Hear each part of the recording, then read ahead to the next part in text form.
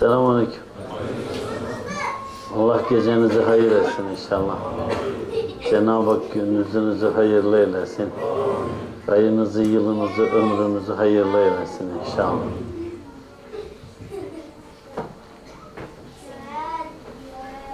Size soru sormak konusunda nasıl olmalıyız? Bunun ölçüsü nedir?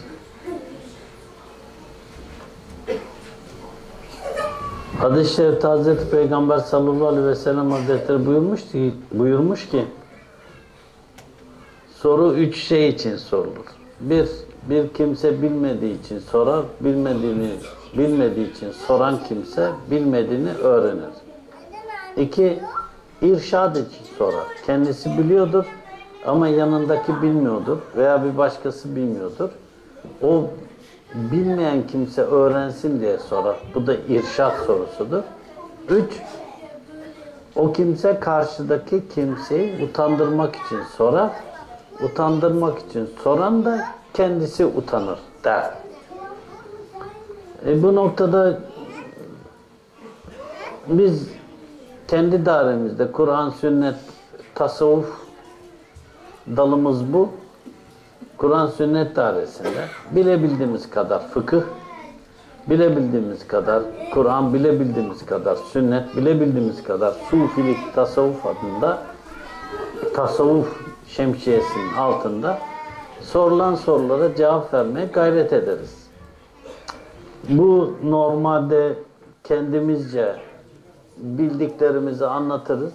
Bilmediğimiz bir şey olursa öğrenir gelir arkadaşlara, kardeşlere bunu aktarmaya gayret ederiz. Bunun dışında bizim soru sormakla alakalı Adaf ve Erkan Dairesi'nde olduğu müddetçe herhangi bir sıkıntımız yok, bir problemimiz yok. Herkes sorusunu sorar.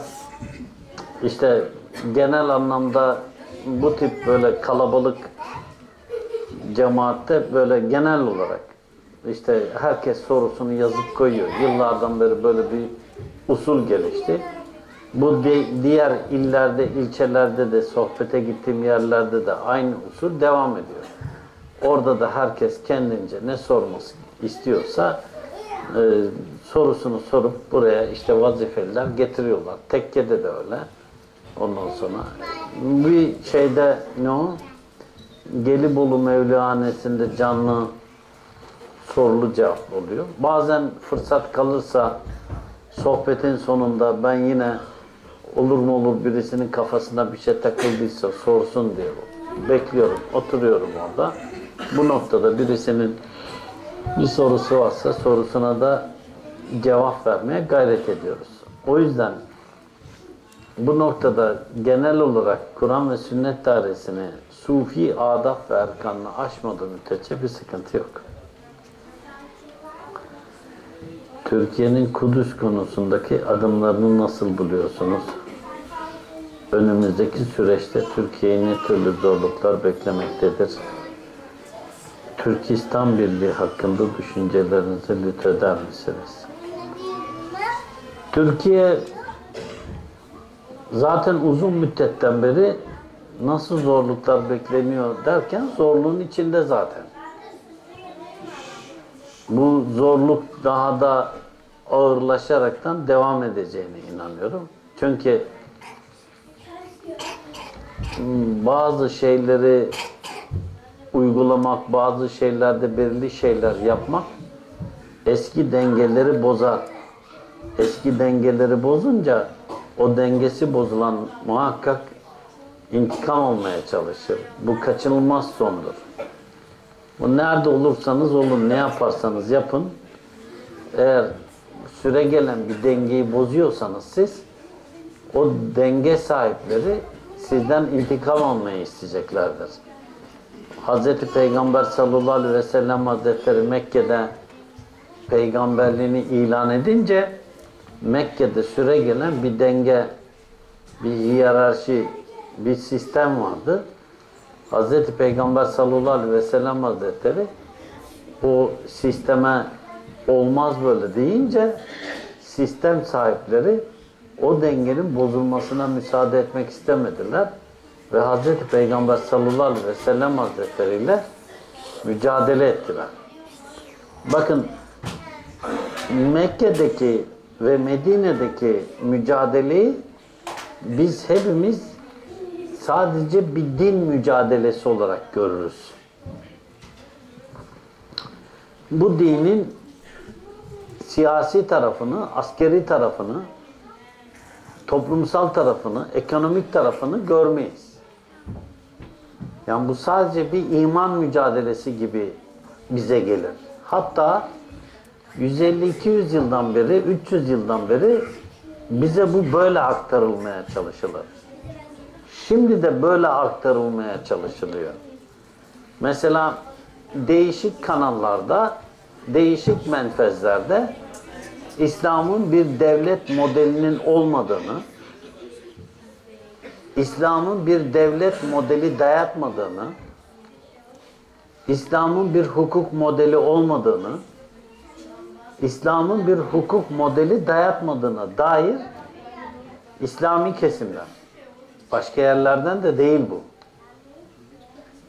Yani kendince muhafazakar kesimden, İslami kesimden kendince işte profes, ilahiyat profesörleri, ne bileyim işte ilahiyatçılar, diyanetçiler, siyasetçiler, sosyologlar bize tatlı tatlı konuşmaların arasında bunu anlatıyorlar bize. Bunu söylüyorlar. Sebep yani sen çıplak bir şekilde Allah'a iman ettin, e, peygamberin peygamberliğini kabul ettin, işte ibadetlerini yerine getir. Yani bunu ibadetlerini yerine getirdiğin müddetçe sana hiç kimse bir şey söylemez. Avrupa'da da sana kimse bir şey söylemez. Amerika'da da kimse sana bir şey söylemez. Türkiye'de de kimse bir şey söylemez. Sen işte hacca gidecekmişsin git. Ama Beytullah'ta bu böyle olması lazımmış deme. Veya Medine Münevvere'de bu böyle olmaz deme. Veyahut da herhangi bir İslam topraklarında yani halkı Müslüman olan bir topraklarda oranın devlet sisteminin Kur'an ve sünnetin dışındaki tavır ve davranışlarını eleştirme. Ona bir şey söyleme. Uluslararası arenada uluslararası ekonomik sömürgeye karışma. Ekonomik sömürgeye devam etsin. Vahşi kapitalist sistemin neydi belirsiz olan bu deccal sistemi devam etsin. Yani göstermelik, böyle kuklalık işler, hareketler ondan sonra o emperyalist güç artık böyle bir e, bu jargondan bıktım artık. Yani emperyalist güçlerin onun gücüne boyun eğdiğin müddetçe sanki böyle çok güç varmış gibi gösteriyorlar ya bize. Oysa Kur'an-ı Kerim'de kafir tek millettir diyor ya. Gavurlar tek millettir. Değişen bir şey yoktur. Emperyalist güç dedikleri gavurların bütünüdür. Nerede bir gavur varsa o Müslümanı kendine dost eder mi? Etmez. Bizi aldatıyorlar. Şu bizim dostumuz, bu bizim dostumuz, şu bizim dostumuz. Bunlar bize dost ülkeler, e, öbürkünler düşman ülkeler. E, dost ülkeye baktığınızda aman o çok mu yani senin dinine, diyanetine, dindarlığına, geleneğine, göreneğine, kültürüne saygı duyacak. Hiç alakası yok. O yüzden Anadolu'daki Müslümanlar bilinçlendikçe, Anadolu'daki Müslümanlar şuurlandıkça, Anadolu'daki Müslümanlar bu konuda diğer İslam ülkelerine bir ümit oldukça bu zorlama devam edecek. Ama e, sonuçta ele avuca sığmaz bir Anadolu insanı var. Bu Anadolu insanını normalde işte 12 Eylül durduramadı, 28 Şubat durduramadı, 15 Temmuz durduramadı. Yani durmuyor bu. 60 ihtilal durdurmadı. Yani evet onlar bir tıraşlıyorlar, bir şeyler yapıyorlar. Bir müddet e, Anadolu'daki İslami gelişmeler inkıtaya uğruyor. Düştüğü yerden yeniden kalkıyor. Yine bir birileri çıkıyor, çılgınca işler yapıyor, mücadeleye devam ediyorlar. Yine onlar bir müddet sonra tekrar oluyor, tekrar mücadeleye devam ediyorlar. Birileri çıkıyor, o mücadeleye devam ediyor. Bozuluyor o mücadeleye devam eden insanlar veya yoruluyor veya bozuluyorlar. Ama onların yerine geçenler yeniden taze bir kan olarak yeniden yürüyorlar. Yeniden yürüyorlar. Bu bitmek tükenmez bilmeyen bir şey. Bu Cenab-ı Hakk'ın ilahi hikmeti.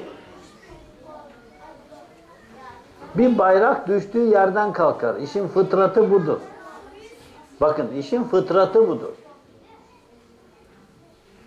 Bu bayrak Anadolu'da düştü.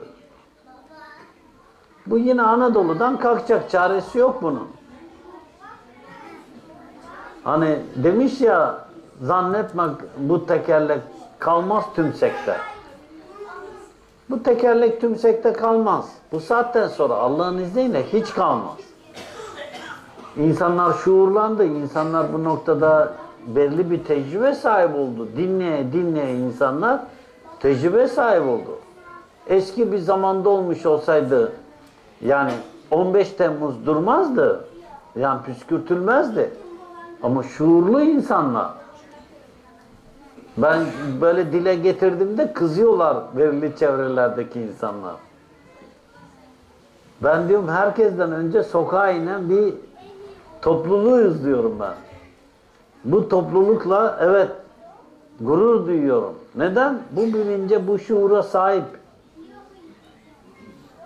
Rahatından, malından, canından, mülkünden, eşinden, çoluğundan, çocuğundan, her şeyinden geçip yani kolay bir şey değil. Uçaklar havadayken, tanklar yürürken insanların sokaklara dökülüp darbeyi durdurmaya çalışması.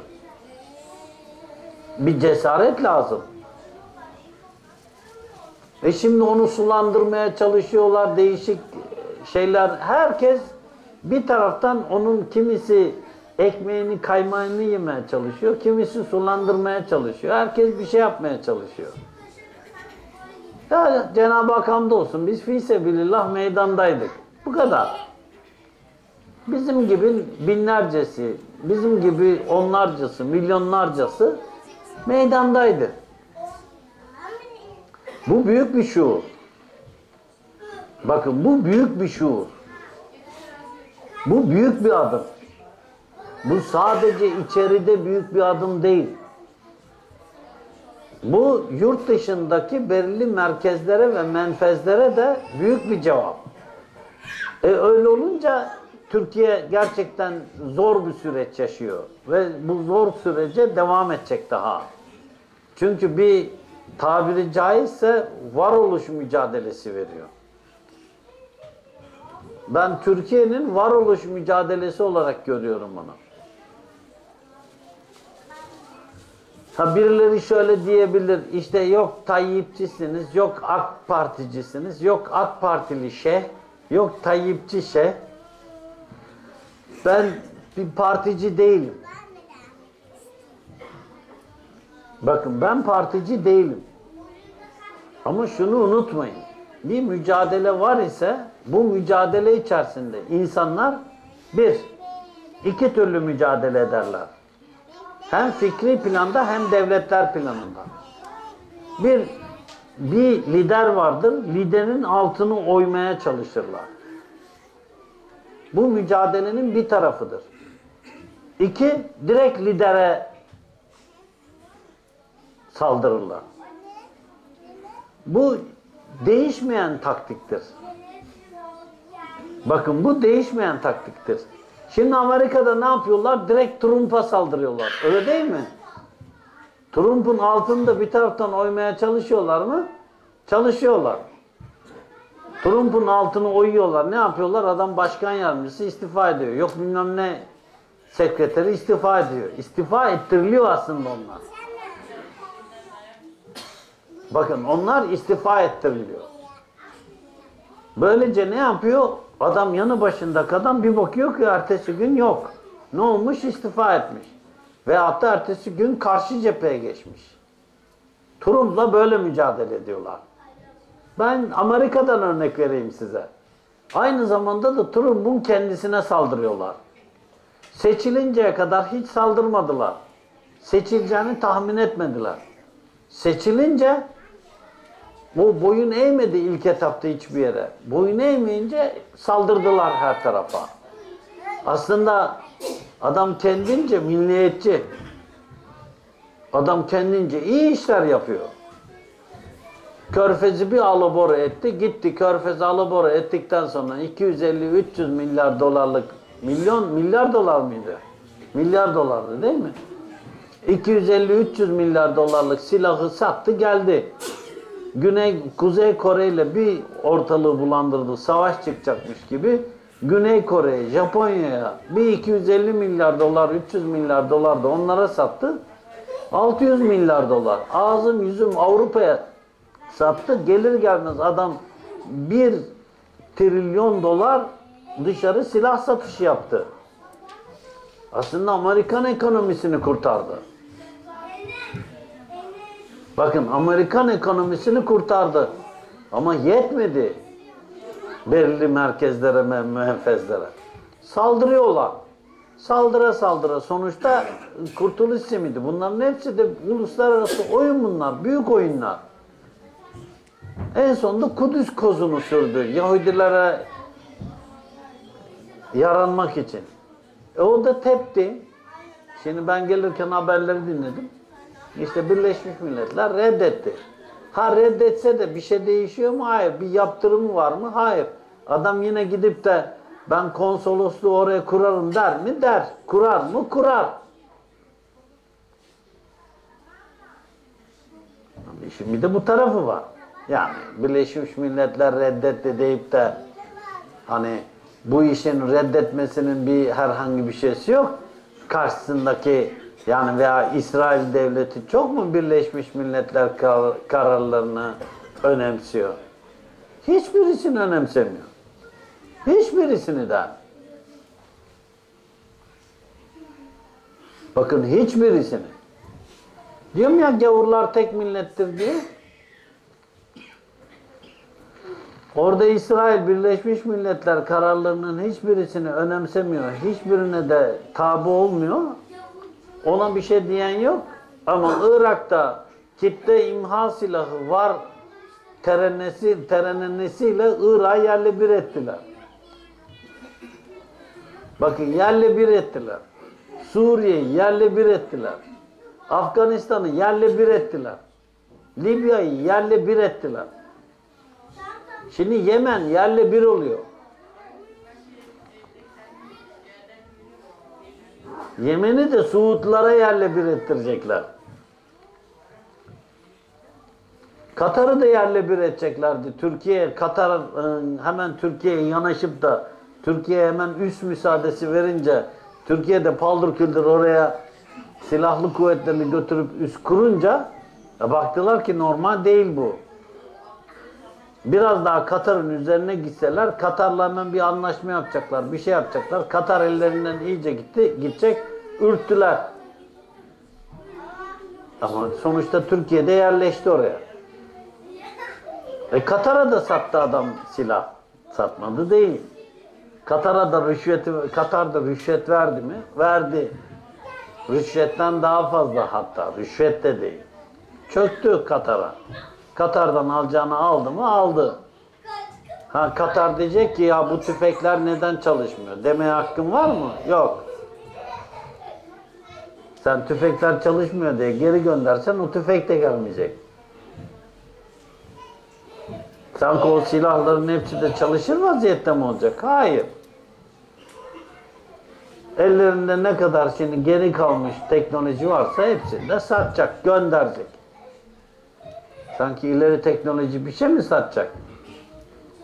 Amerikan ordusunda kullanılmayan eski silahlar ne kadar varsa hepsi de derlenip toparlanacak. Hatta boyamaya dahi gerek duymayacaklar. Boyamayacaklar bile. Bakın boyamayacaklar bile. Hepsini gönderecekler. NATO ülkelerine Amerika ne gönderiyordu? En eski teknolojiyi gönderiyordu. Ne adı altında? İşte Amerikan yardımı, NATO yardımı veyahut da işte uzun vadeli sana silah satıyor. Hep kullanılmış. Kullanılmamış sana yeni silah mı gönderiyor? Bu tekstil makinaları gibi. Senin gücün yoksa ne yapıyorsun? Gidiyorsun kullanılmış tekstil makineleri alıyorsun. Miadını doldurmuş. Miadını doldurmak üzere. Biz kendimizden biliyoruz. Paramız yok. Gittik burada makinesi aldık. Aldığımız burada makineleri ne? Revizyon görmüş. Revizyon görmüş. Kaç model? 1978 model. Revizyon görmüş. Bir de sevindik. Revizyon görmüş diye. Kaç model? 78. Model 78'de revizyon görmüş daha doğrusu. E kaç model? 60 model, 58 model, 55 model, 40 model, 35 model. Avrupa Birliği İsviçre'de köylerde insanlar hayatlarına devam etsinler diye bakın köyde adam hayatına devam etsin diye. Avrupa Birliği fonundan gitmiş bir burada makinesi üreten bir firmayla anlaşmış. Köylere burada makineleri kurmuşlar. Alp dağlarının eteklerine. Adamda iki tane makine var. Eşi, kendisi, çocukları öyle çalışıyorlar. Tıkır tıkır tıkır tıkır tıkır tıkır çalışıyor. Adam kendi işinde de 8 saat çalışıyor. Almayı da devlet taahhüt etmiş. Demiş ki ben sen üret bunu ben alacağım. O adam da aynı süt ürettiği gibi. Bakın biz öyle süt ürettirmeye çalışıyoruz. O tekstil ürettiriyor. Devlet diyor ki senin ürettiğin fistoyu ben satın alacağım. Ürettiği fistoyu satın alıyor. Kime veriyor? Fransa'ya veriyor. Avrupa Birliği bünyesinde. Fransa ne yapıyor? Diyor ki Türkiye'ye ben sana kredi açacağım. Ekonomik kredi olur. Ne yapacaksın? Sana fisto göndereceğim diyor. Ne fistosu? İş çamaşırlık fisto. Ne kadar? 5 bin, 5 bin dolarlık, 5 milyon dolarlık neyse. Sen paketin içerisinde o fistoları da alıyorsun. Sen Fransa sana ekonomik yardım ediyor zannediyorsun. Öyle diyor. Geliyor sen. Normalde bizim bürokratlar içeride Fransız ayranı çok, İngiliz ayranı çok, Alman ayranı çok. Olmasa dahi götürüyorlar, yediriyorlar, içiriyorlar, lüks otellerde yatırıyorlar. imzalıyor bizim bürokratlar orada.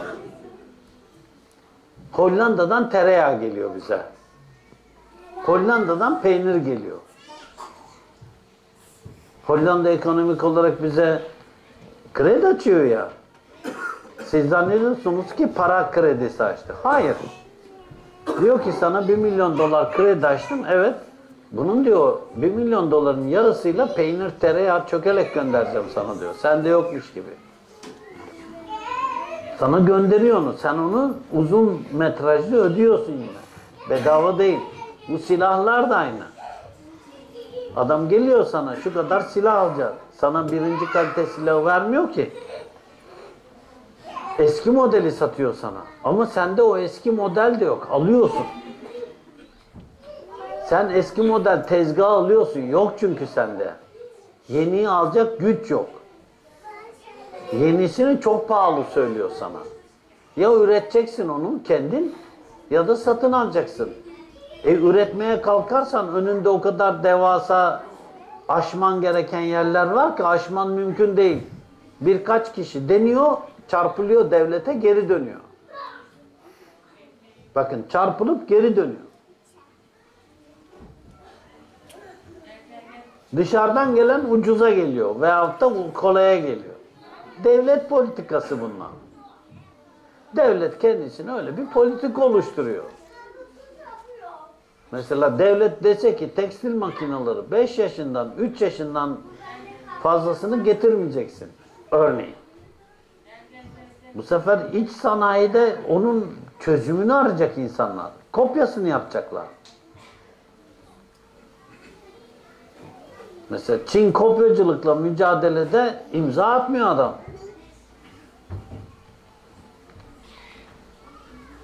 Fuarlarda insanlar mal şimdi teşhir etmiyorlar. Neden? Çinliler gelip kopyalıyorlar. Aynısını 10 gün sonra yapıyor adam. E Çin imzalamamış ki ben kopyalamayacağım diye. Umurunda değil adamın. Sen bir şeyi görsün anında fotoğrafını çekiyor anında yapıyor adam.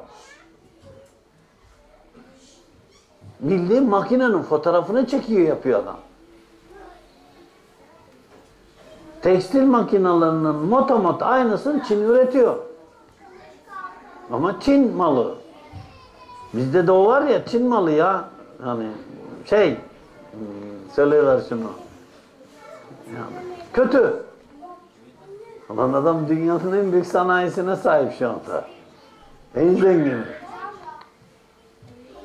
Kes, kopyala, yapıştır yapıyor adam. Bitiyor adam. Yapıyor. Vomotex'in aynısını yapıyor Çin. Ama Çin malı. Ne bileyim işte bilmem ne tekstil makinesi yapıyor adamlar. Biz onu yapmıyoruz ya kendimizce. Biz çünkü Avrupa Birliği'ne imza atmışız, ona buna imza atmışız. Önümüze ne getirdilerse imzalamışız biz. Bize demişler bunlar bunlar bunları imzala, biz hepsini de imzalamışız. Şimdi örneğin işte sen Nike yapamıyorsun burada. Nike'ın üzerinde o logosunu yapamıyorsun. Çin yapıyor. Ve Çin yapınca da Çin'in malını toplayamıyor Nike orada. Veya ne en iyi saat? X saat değil mi? Motomat aynısını yapıyor. Hacı Ahmet anlatıyor bana. Ne en pahalı saat? Rolex diyelim değil mi? Diyor ki aynı model Rolex'in diyor 100 dolarlık olanı da var diyor. 1000 dolarlık olanı da var diyor. Çakma diyor. 500 dolarlık olanı da var diyor. 300 dolarlık olanı da var diyor. Ama 1000 dolarlığını alınca diyor 30 bin dolar Rolex'te o saat diyor. Bak 30 bin dolar onda 1000 dolar. Aynısı diyor. Saatçi dahi çık anlayamaz onu diyor. Bakın saatçi dahi onu anlayamaz diyor. Çok zor diyor. Millet şimdi diyor kolunda saat taşıyor diyor. Çin malı diyor. Bin dolarlık diyor. 30 bin dolar Rolex'te o diyor. Ama o bin dolar alıyor onu oradan diyor. Bin dolar. Ve onu sen Çin'de gidip de Rolex o saati toplatamıyor. Sen toplat, sen de topluyorlar. Böylece ne yapıyor? Seni geri bırakıyor. Sen bir şeyi taklit edemiyorsun. Sen bir şeyi üretemiyorsun. Üreteceğin zaman da sana zaten geliyor, senin tepene biniyor. Bakın üstünü örttüler. Bakın üstünü örttüler. 250 tane uçağı toprağa gömmüş ülke.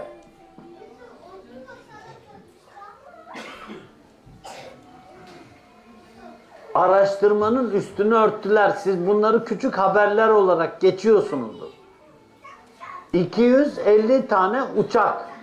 Savaş uçağı.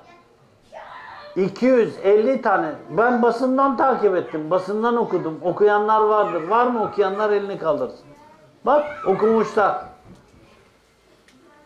250 tane uçağı toprağa gömmüş bir ülke.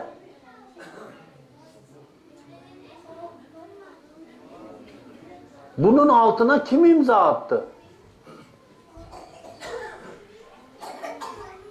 Bu kararnamenin altındaki altında kimlerin imzası var? Açıklanıyor mu? Hayır. Bunlar mahkemeye veriliyor mu? Hayır. Bunlar hukukun önüne çıkarılıyor mu? Hayır. Bu imzayı atanlar vatan hainliğinden yargılanıyorlar mı? Hayır. Bu tespit edilen 250 tane uçak o günün parasıyla bugünün F-16'sı diyelim biz. Şu anda tanesi 50 milyon dolar bir tane orta vadede. Şu anda 250 uçak 12,5 milyar dolardır. 12,5 milyar dolar yapıyor. Dış borcun %10'u. Dış borcun %10'u. 250 tane uçak. Kim hesap soruyor? Belli değil. Ne kadar tank, gö- tank gömüldü biliyoruz mu? Hayır. Ne kadar gemi batırıldı biliyoruz mu? Hayır. Ne kadar top tüfek gömüldü biliyor muyuz? Hayır. Koca uçağı gömen bir zihniyet tankı topu gömmez mi? 250 tane uçağı gömen bir zihniyet.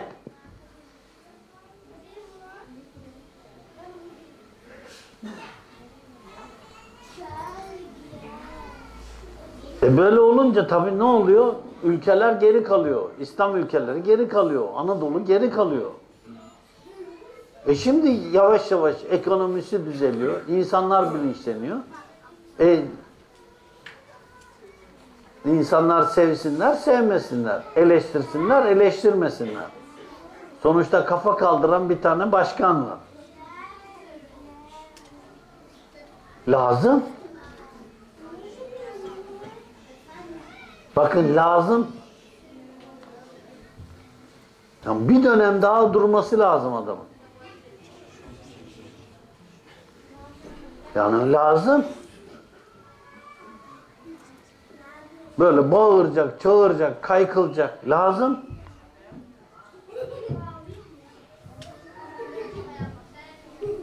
Yani bizim karakteristik özelliğimizi öne çıkaracak bir kimse lazım. E ne yapıyorlar? Ona saldırıyorlar. Ne yapıyorlar? Onun tabanına saldırıyorlar. Onun etrafına saldırıyorlar. Normal.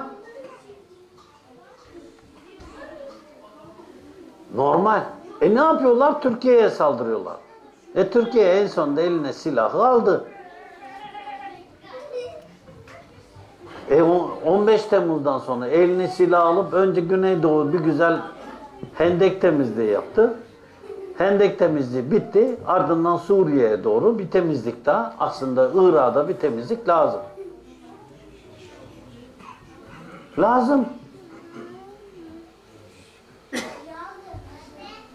Yani o Barzani devlet sevdasından vazgeçmeseydi Türkiye'nin eline iyi bahane çıkacaktı. Ama terör zaten bahane. Yürüyecek. Ya mesela eskisi gibi PKK'nın sesini duyuyorsunuz mu şimdi? Duymuyorsunuz. Neden? E Türkiye yumruğunu vuruyor. Bahane Türkiye'nin eline bahane vermek istemiyorlar şimdi. Baktılar önceden normalde böyle bir hareket yapmıyordu. Şimdi yapıyor hareket. E şimdi daldı, girdi, dağıttı, oturdu oraya. Şimdi baktı oturdu Suriye'de. Oturuyor şimdi Türkiye. Bizim orada deve güreşler olur.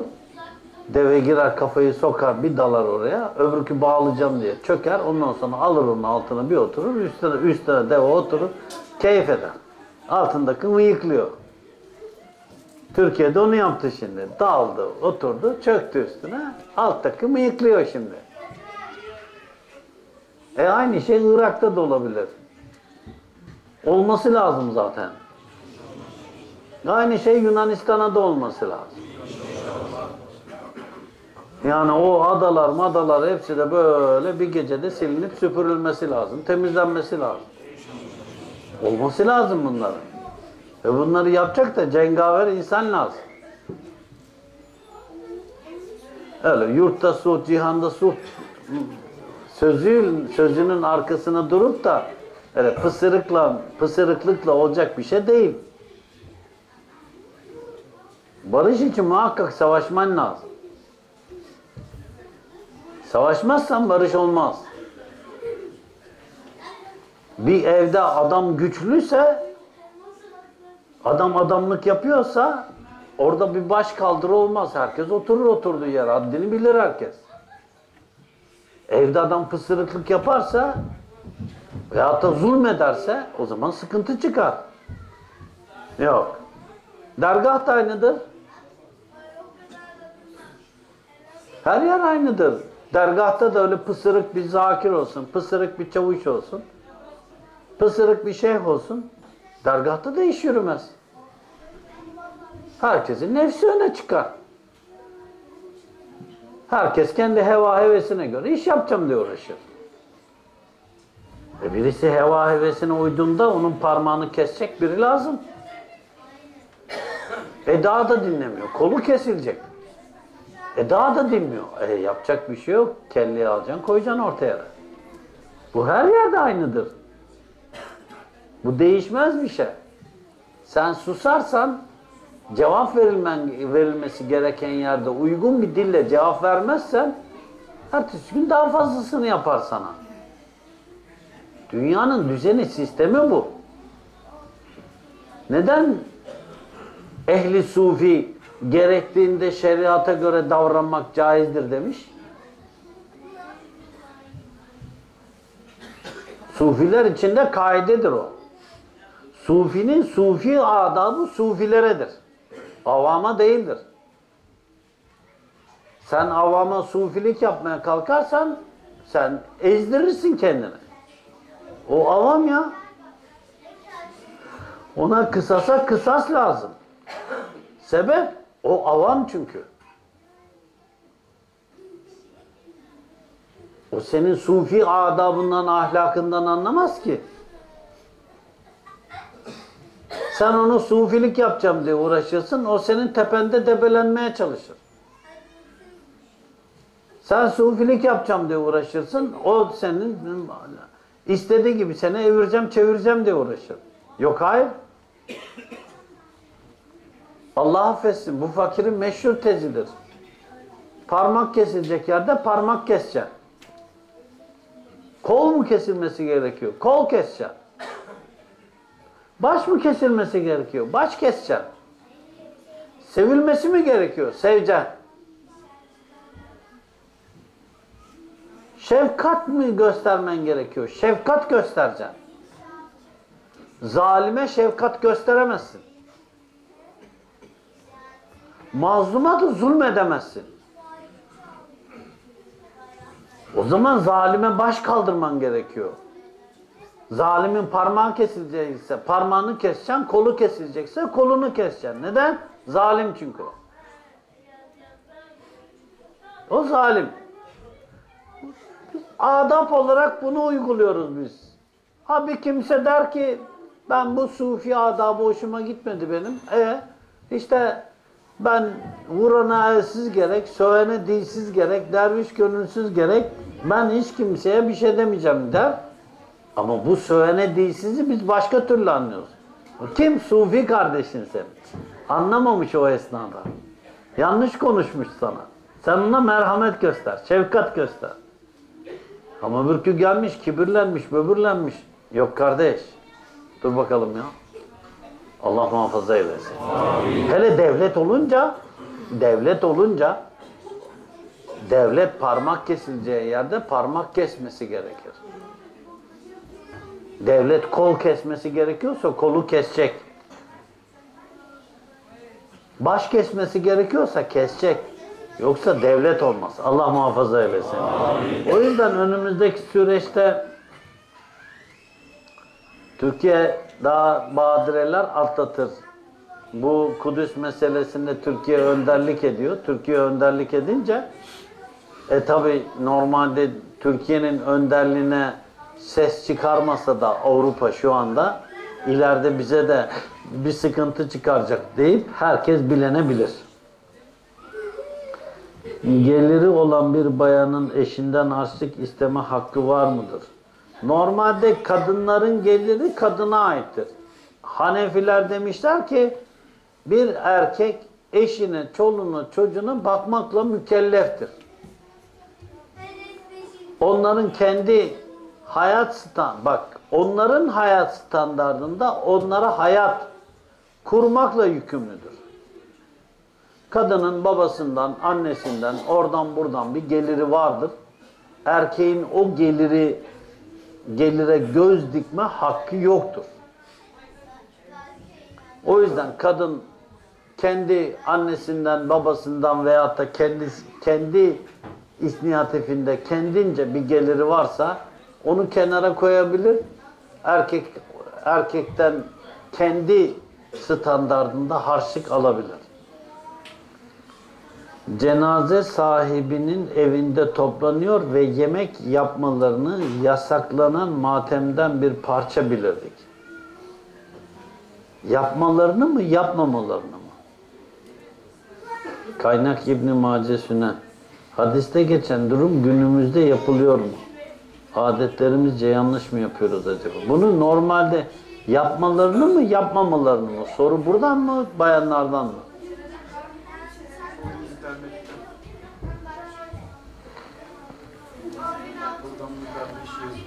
Vermiş. Burada şunu söylemek istiyor ben ne dersem babacığım. Hani e, verilen cenaze yemekleri doğru mu? Hadis-i şerifte bunun tersi var diyor. Verilen cenaze yemekleri doğru mu? Hani cenazeye gelenlere yemek vermeyeyim. Evet. Hadis-i şerifte cenazeye e, gelenlere yem- yemek verilmemesi hususunda bir sıkıntı olduğu söyleniyor. Benim anladığım kadarıyla. Ama bugün böyle bir şey veriliyor diyor. Bunun doğruluğu yanlışlığı nedir diyor. Cenaze sahibinin evinde toplanıyor ve yemek yapmalarını yasaklanan matemden bir parça bilir. Cenaze sahibi yemek yaparsa o matemden sayılırmış. Bizde cenaze sahipleri yemek yapmaz ki.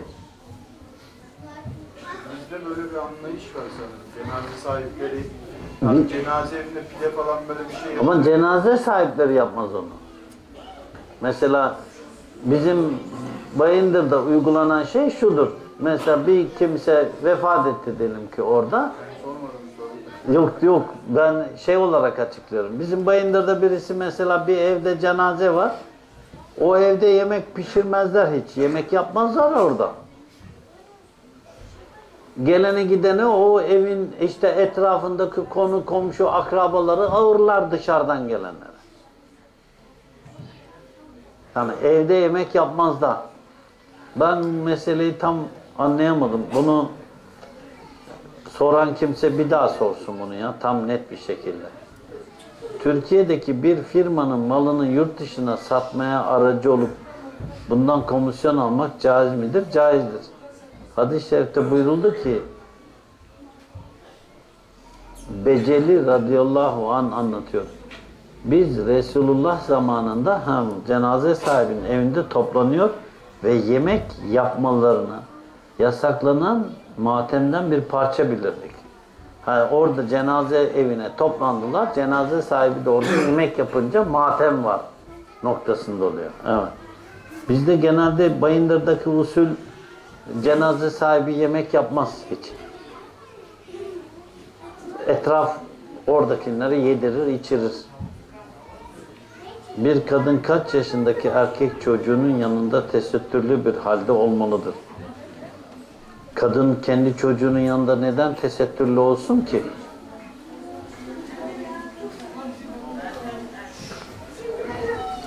Yani tesettürden kasıt başını örtmesi mi? Soru erkeklerden mi, bayanlardan mı? Bir kadının kendi çocuğunun yanında saçını başını açmasında bir beis yok. Kendi çocuğunun yanında Türkiye'de hiç kimse soyunmaz zaten kadınların büyük bir çoğunluğu. Ama kadın kadına da olsa, kadın kendi çocuğuna da olsa göbek deliğiyle diz kapağının arası zaten mahrem. Ama normalde erkek çocuğunun yanında da kadınlar zaten soyunup giyinmezler, edep ederler.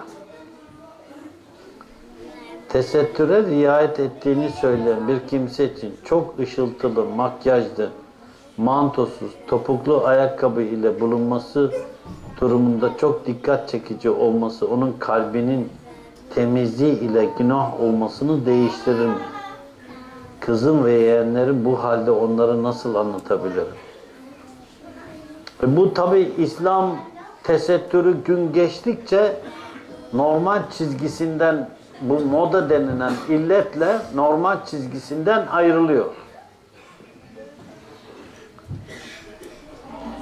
Bu moda denilen illet ne yazık ki Müslüman bayanları daha fazla vurdu. Erkekleri de vuruyor. Erkekler de daracık pantolonlarla dolaşıyor. Likralı pantolonlarla dolaşıyor. Erkekler için de sıkıntılı.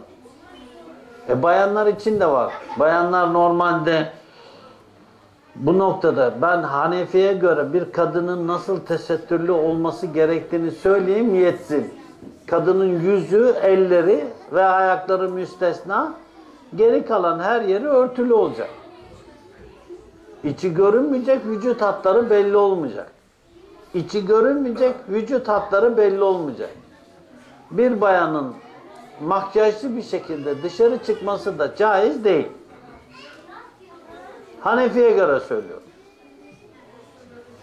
Bu renge takılmıyorum. Yok işte böyle şu renkte giyse, bu renkte giyse. Şimdi zaten tekstil öyle bir hale geldi ki rengarenk. Bunda bir sıkıntı yok ama öbür türlü içi görünmeyecek, vücut hatları belli olmayacak, el yüz ayak müstesna örtülü olmuş olacak. Günümüz gençliği için karakter duruşunda ev, aile, okul sistemi ve dış çevreyle beraber bulunan bu düzende edep ve ahlak eğitimi nasıl verilir, ne yapılmalı? Kur'an sünnet dairesinde.